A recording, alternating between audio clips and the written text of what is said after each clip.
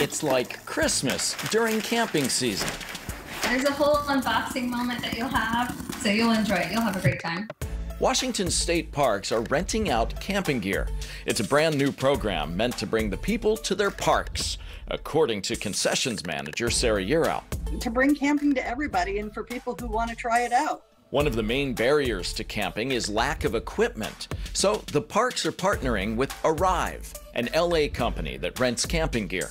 Our goal as a company is to make it really, really easy to get outdoors and to experience the outdoors without having to own and buy and consume and store all of this stuff that you only use sporadically. You reserve your gear when you book a site.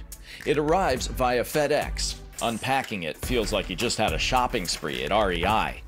This gear is high end. An example? This backpack cooler, which retails for $299. 30 bucks more than the cost of renting it. And all this for one week.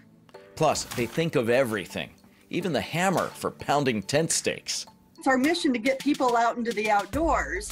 And, you know, sometimes um, the thought of going camping and having all the gear that you might have to purchase is, is a big deal. And there's a free return shipping label for after your adventure. It's all about making it easy to get outside. There's only one thing that would make camping in Washington state easier. they all come with rainflies automatically. A no rain guarantee. Thank you, Jim.